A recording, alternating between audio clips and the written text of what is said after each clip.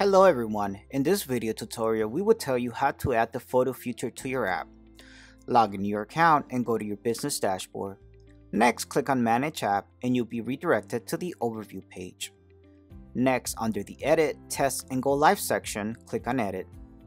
Now to add the photo feature click on the add feature button in the sidebar then click view all and search photo. Click on the feature to add it to your app. Once you added the future, you will see the future listed in my future section, where you can edit, customize, and organize the added features the way you want. Now hover over the future and you will have options to show hide the future, edit and customize the future, delete the future, and move the future. Now let's check out what all you can do with the newly added photo future. Click on the pencil icon here to edit and customize the feature. This is your page or future name. If you want, you can change it as per your needs. From here, you can change the future icon. If you want, you can select a solid icon or an outline icon or an image from a library or upload your own custom icon image. Let's move to the content section now. Here you will see different options including Facebook, Flickr, Pine, Pinterest, Instagram, etc. through which you can integrate all your photos. Now let's check each option one by one First, let's integrate photos from Facebook. This is your Facebook option name. If you want, you can change it as per your needs. From here, you can change the Facebook icon. You can upload an icon from our, our library or you can upload your own custom icon image. Now to integrate photos from Facebook, enter your Facebook page name in this field. If you don't know how to obtain your Facebook page name, then click the I icon here and refer to our tutorial. Once you provided a valid page name, you will see get a Get Album button here. Click on it to select an album from the dropdown. Now to view how the photos of your selected album will be displayed on your app, you can check the simulator here. If you want to integrate multiple photo albums from Facebook, then click the Add More button here. From here, you can remove the Facebook option. Now let's integrate photos from Flickr. Click the Flickr option and update the Flickr option name and icon if you want or leave them as is. Enter your Flickr username to integrate photos from Flickr. Obtain your Flickr username, you can refer to our tutorial. Or if you wish to add multiple Flickr profiles, then click the Add More button. Click Remove to remove the Flickr profile. Similarly, you can integrate photos from Pinterest by providing your Pinterest username Let's now go ahead and integrate photos from Instagram. From here, you can change the Instagram option name and icon image. Now to integrate photos, click on the link your profile button. Once your profile has been linked, you will see your Instagram username here and you can view the images of your linked profile on the simulation screen. If you want to add multiple Instagram profiles, then click the Add More button. Click Remove to remove your Instagram profile. Now let's move on to the custom option. The custom option lets you add images from your device. Click here to add images and once added you will see them here. Please note you can add multiple images and then upload them all at once. Now you can individually upload the added images or click the start upload button here to upload multiple images at once.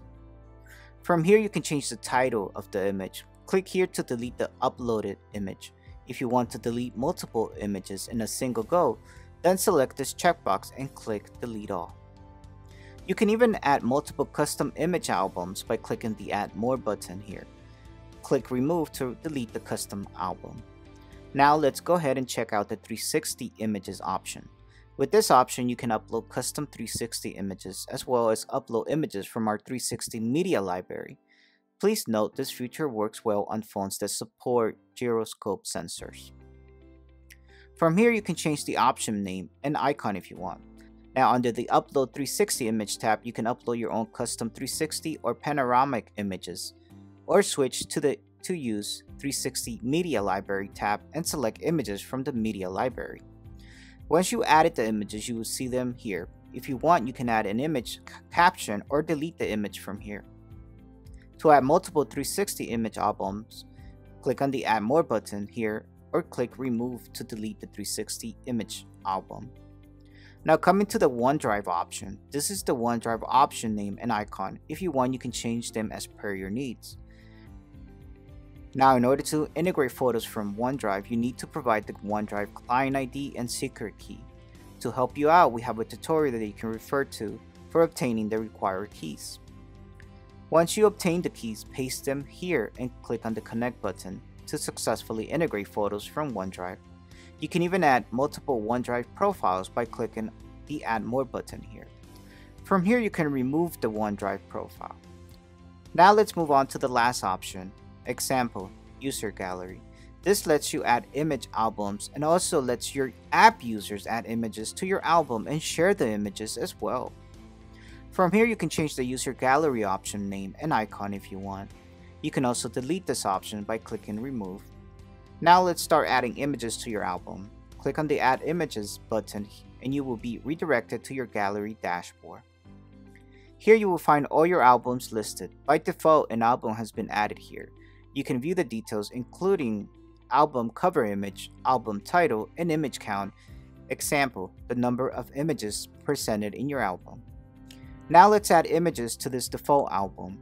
Click this icon under the image count column, then click on add photos and add photos from your device library. Once you added the photos, you will see them here. You can enter an image caption in this field. From here you can upload the image, cancel uploading the image, and resize the added images if you want. You can even add multiple images to the album and upload all of them in a single go by clicking on the Start Upload button here. Once your images have been successfully uploaded, you will see them listed in this section. From here you can search the photos by caption and also perform certain actions including making selected photos active, inactive, or deleting the photo. From here you can view the photo details including the image, caption, and image uploaded by.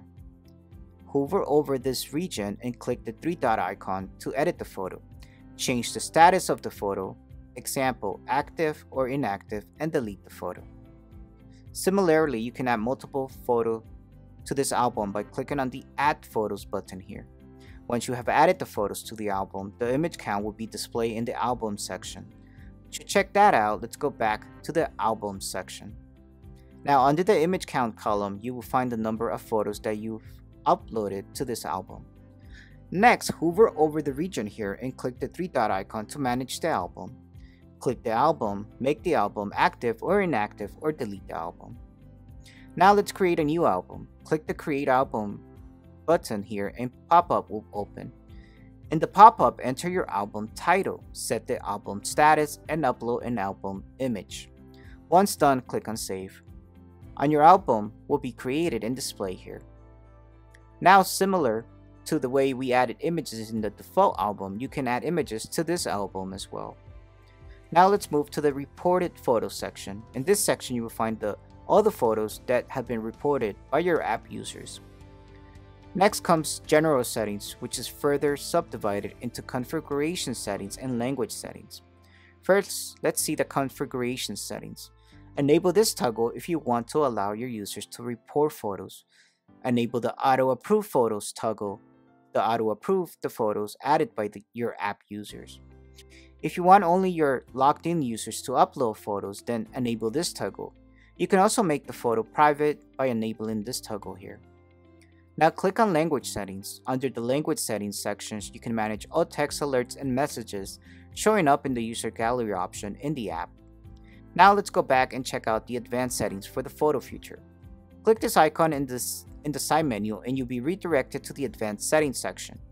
Enable the image sharing toggle to allow your app users to share the images with others. Please note the image sharing feature does not support 360 images. Now click this icon in the side menu to change the language settings of the photo feature. Under language settings, you will find all text alerts and messages showing up in the photo feature. If you want, you can change the text as per your needs. Let's now change the layout and color scheme of your photo feature. Click on this color palette icon to change the page style and color scheme. Click on the background icon and select an image for the page background. If you want, you can select an image from our library, solid color, or upload your own custom background image. Next, select your desired layout from the options. From here, you can set the page elements, color, and font size. You can even show the header icon by enabling this toggle here. Now let's enable in-app purchase for this feature. Click the in-app settings icon in the side menu. Then under in-app settings, enable the in-app toggle and provide the necessary credentials in the required fields. Please note you can enable in-app for both Android and iOS. For getting the credentials, you can click on the question mark icon and refer to our tutorial. After providing the credentials, you can use them as global credentials by checking this checkbox here. Please note you can also add new credentials if you want. Once you, you're done, click on Save to save the changes manually or directly click the Publish button to see the reflection of your latest updates on your mobile app. That's all for now, thank you for watching and don't forget to subscribe to our channel and hit the bell icon to get the latest updates as soon as they are live.